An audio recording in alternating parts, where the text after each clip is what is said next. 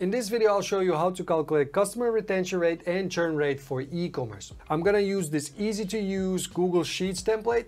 You can just paste your data and it will show multiple cohort charts, including your retention rate, churn rate, customer lifetime value, and so on. Hello data people, my name is Robert and I'm here to help you understand and analyze data to make better decisions in e-commerce. So let's get started. By you downloading this template, just click on the first link in the description. Once you follow the links, you will end up on this Google Sheet and here just make a copy of this by clicking here on file. Sorry, mine is in Dutch, but anyway, this is file and then from here you can see copy, uh, make a copy. And now you'll be able to edit this doc and add your own data into it. So let me show you how to enter your data in this uh, spreadsheet. So just grab your data and make sure it's in this order. You have the customer ID or email. I would use either one, but probably email in your case. Then the order ID, purchase date of that order, and the amount. So all, that's all you need. Now in terms of time frame, this sheet works best when you have 12 months or less, but you can also expand it. I'll show you in a second how. So here I have them already ordered, so I can grab all this information, all this data, and copy it and just paste it in here. Now if there's any data, just remove it like this and then let's paste it in. Now there was about 20,000 rows, so it might take a bit of time. You see it's loading. So let it think about it for a while uh, and it'll do all the calculations. So it took like a minute or something to load everything. So let's go to the dashboard tab. And here you can see, oh wait, if you see something like this, just scroll down and make sure if there's a error like this, that there's nothing in the way. So, so this is all automatic. So for example, if your data has more than 12 months, then it will say something like this. For example, here I have this total. If I remove it, it'll start work. In some cases, if you have more than uh, 12 months, then you can just expand this. You just take more rows and then it will expand itself. Same thing for these other ones. I designed this for 12 months, but if you want to look at longer periods, that's also okay. But you just need to expand the space here. Otherwise, you'll uh, complain that there's no space.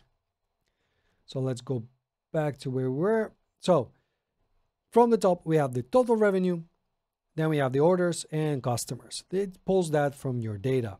And then we have the orders by customers, and that's just uh, this divided by this. AOV, average order value, is just this revenue divided by orders. And we get this one, uh, $481. And then the lifespan per customer. This is a bit harder because we need to use retention rate. You can see here that I, have added a bit of a formulas here you can see that we need the average retention rate and retention rate is calculated here. You can see that it's 21% for this shop. And just so you know, average retention rate is the opposite of average churn rate. So if you're more familiar with the churn, then this is kind of, they're just opposite of each other. So we'll come back to these cohorts in a second. And then we're able to calculate the customer lifetime value by multiplying these three values and we have about two and a half thousand in customer lifetime value. The next one is the marketing expenses. So you would need to fill this in, but basically you just need to add all your total costs of sales and marketing to acquire a new customer. And then we're going to divide that by uh, all number of customers and we get this customer customer acquisition cost. So so CAC. And then if you fill in also your gross margin, so gross margin, here's the calculation. It's revenue minus cost of goods sold divided by revenue. For example, if you sell something for $100 and it costs you to manufacture that $40, then you have 60% gross margin. Just fill these two here because it's going to influence some of the data below. All right, so let's continue here. Okay, then we have the orders by cohort here, yeah? And how do you read these charts? Because it's a bit confusing. You need to remember that cohort is just a group of people uh, it's it doesn't mean anything else. It's just a fancy word for groups. And this group is just divided by date. In this case, it's a month. And first month is just January, February, March, April, and so on. So let me summarize everything. When you look at this graph vertically, you're looking at the different cohorts and the number of people who first time bought from us in that cohort. So the one represents January and the 12 is December in this case. When you look at the graph horizontally, you're looking at the purchase of that specific cohort. In this case, it's the first purchase month. And you can see how people from that cohort bought again after month one, two, three, and so on. It doesn't mean they bought every month, but a portion of the people from that cohort bought something again. And then if you look at diagonally up, you can see how many customers bought in specific month. Not just for first time buyers, but in total, how many people bought from us in this month. So if you bought your first purchase uh, in January, you're part of this group. And then all of these uh, other numbers, so this is obviously everybody who bought on the first month. And then these people already bought something here, but they also bought on in the month first, so February. They also bought, maybe bought something in March and so on. But it doesn't mean that everybody out of these bought always on first month, second, third, and so on. It might be that, let's say, half of these people bought only in here in month four. But does this mean that you only had, let's say, we're looking at uh, this is what January, March. So in March, did you only have 642 orders?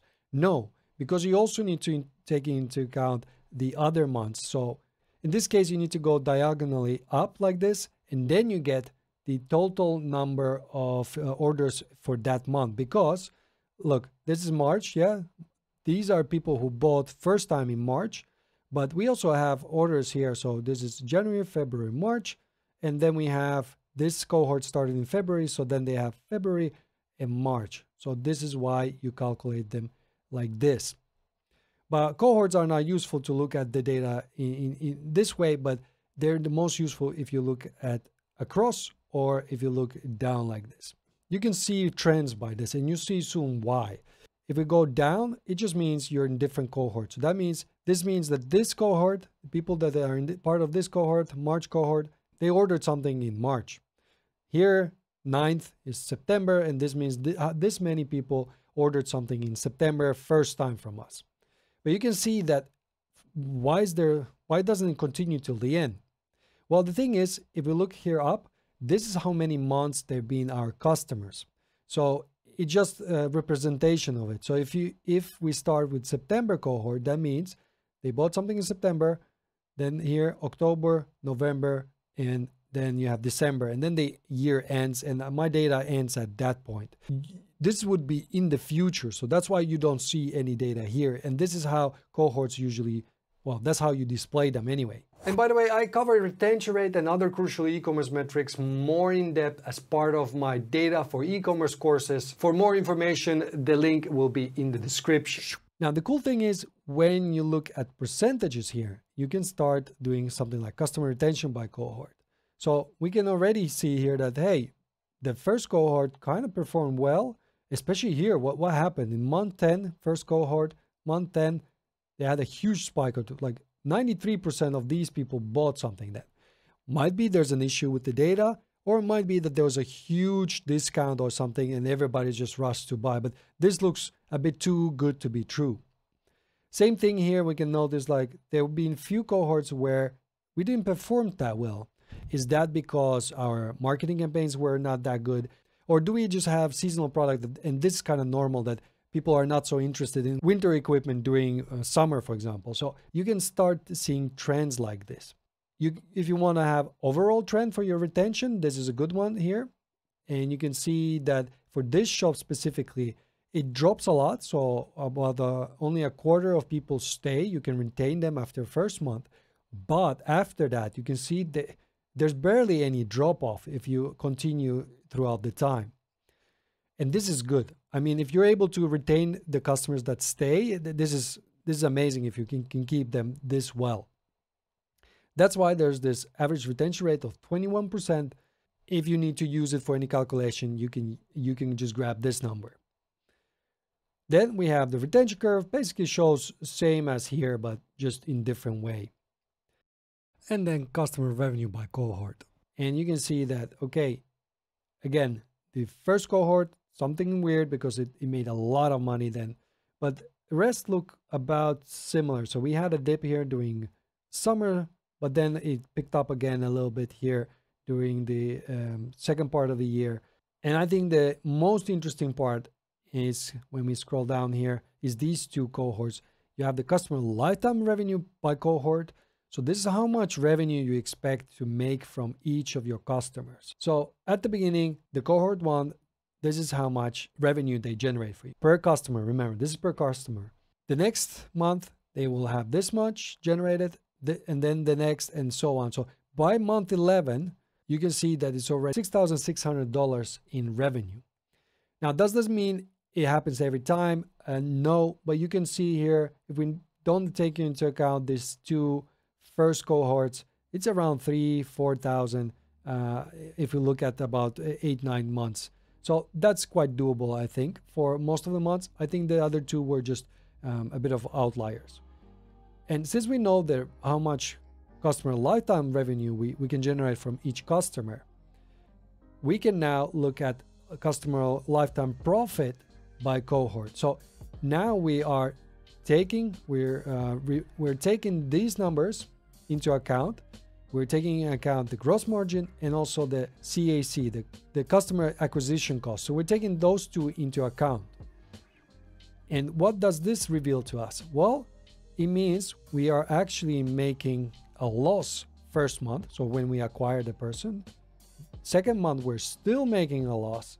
But then around second, third, or actually here, third or fourth, if you look at uh, all the cohorts, that's where we're starting to make profit. So this is, uh, we're making loss. And as soon as it turns on the plus side, you can see that we have now profit. And we're expecting to make a uh, profit of about a thousand or maybe even 1500 by month nine, which just means that we can spend more on marketing if we know these type of numbers. Okay, now you know how to calculate retention rate, but I noticed at my agency that I use three metrics that have had even bigger impact on my day-to-day -day work in e-commerce. So check out this deep dive where I'll show you what they are and how you can use them to boost your revenue today.